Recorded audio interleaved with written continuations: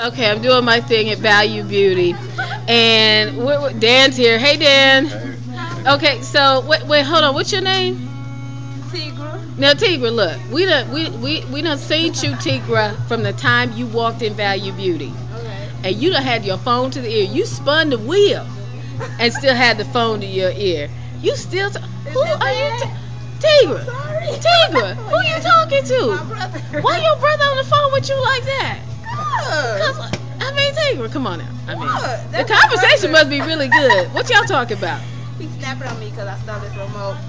What? I took his remote. You took his remote? You got it in your pocket? No, it's at the house. What?